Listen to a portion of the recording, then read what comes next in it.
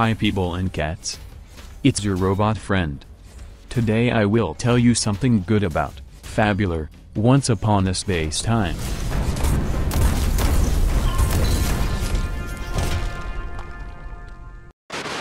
So after just an hour of play I can tell this game is going to be a time as ink. It has the hallmarks of a great roguelite as well as text-based adventures and many things that make it unique. I won't spoil things too much but I highly recommend you try it. It's a gem of a game that feels fresh amongst an onslaught of same games.